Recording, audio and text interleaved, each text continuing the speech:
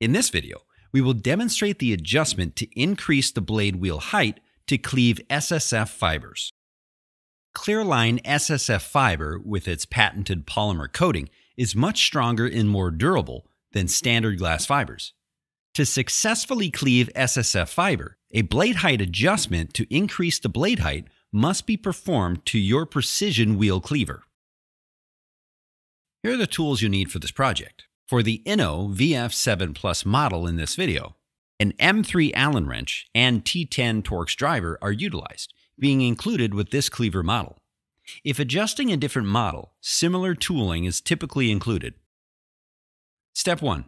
Unscrew the side-mounted screws to remove the trash collection bin and set aside and remove any other needed items to access the blade guide screws located on the side of the cleaver.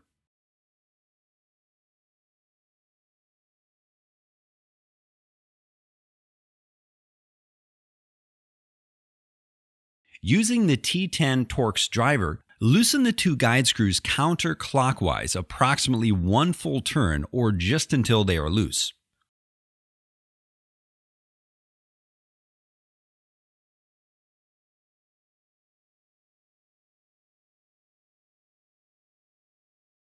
Looking down into the cleaver by the wheel blade, locate the T10 Torx screw being adjacent to the M3 Allen screw for blade height adjustment. Loosen one full turn. To increase the blade height, again looking down, locate the M3 adjustment screw. To increase the height of the blade, turn the Allen screw three positions or one quarter turn clockwise. It is important that this process is done in small increments. Check the cleaver with SSF fiber to see if it can successfully cleave the fiber. If not, repeat the previous step to increase the blade height, checking after each adjustment.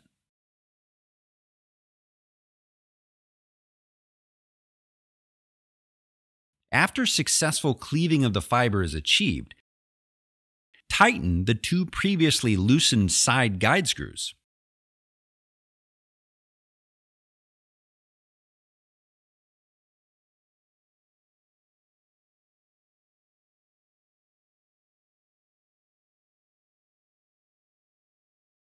Next, tighten the T10 Torx screw adjacent to the blade height adjustment screw.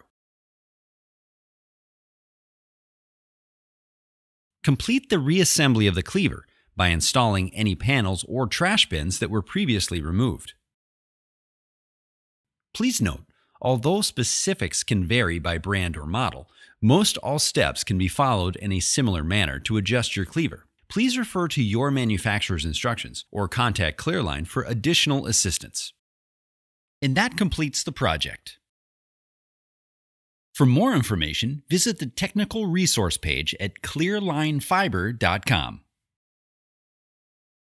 Thank you.